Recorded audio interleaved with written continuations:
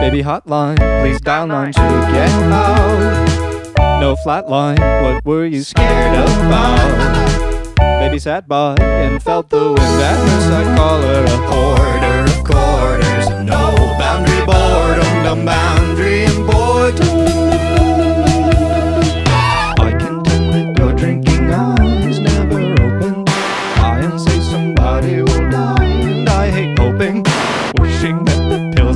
cry, and I hate.